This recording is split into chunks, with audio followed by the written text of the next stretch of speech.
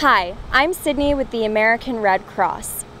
During disasters, it's easy for loved ones to lose touch. The Red Cross Safe and Well website is a free reunification tool where you can indicate to your family members that you are safe or start a search for one of your loved ones.